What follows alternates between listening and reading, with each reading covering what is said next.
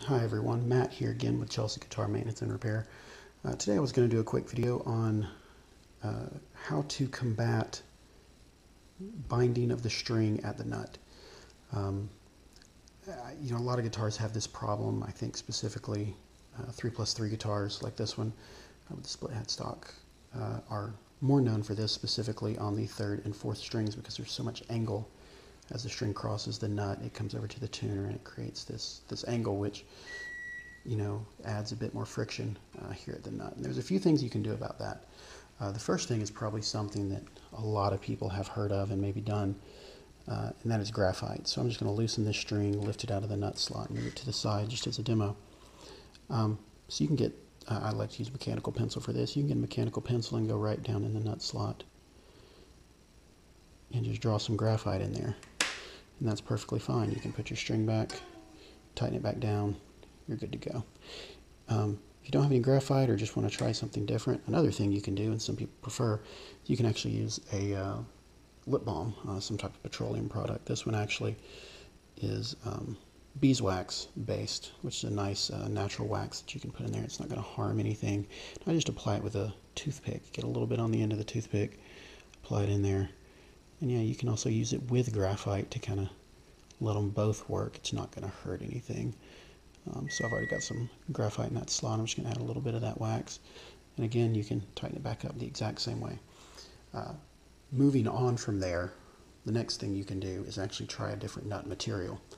Uh, the nut on this guitar is actually a Graph Tech TUSQ nut, which has some anti-friction material built into the uh, built into the nut itself. And I really like these. I think they're great products. Um, I'm not going to get into how changing the nut might make your guitar's tone change, etc.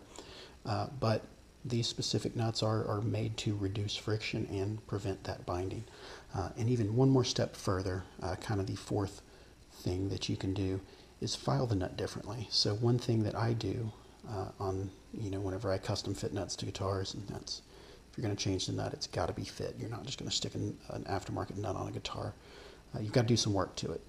Uh, and one thing that I do is I actually refile all of the nut slots. And what I do is I, for one, make sure that the angle, the, the break angle over the nut is a nice smooth transition. I don't want it to go completely straight and then the string breaks sharply over the backside of the nut. I like to file a sort of smooth curve to it, uh, which is sort of gives the the string of the sort of smooth change uh, down to this new break angle. The other thing I like to do is specifically on the third and fourth strings is I angle after the string comes over the nut on the initial part. I leave it straight for a millimeter or two uh, depending on the nut. You know I do it differently on different nut styles but specifically on a 3 plus 3 headstock. Third and fourth strings I'll let it break straight or I'll let it pass straight over the nut to start and then as it breaks down to the new headstock angle, I actually angle the nut slot toward the tuner. So the fourth string would be angled toward this tuner, third string would be angled toward this tuner. And I just sort of help guide a nice smooth, smooth change from the straight string here down over the break and over uh, to the tuning peg.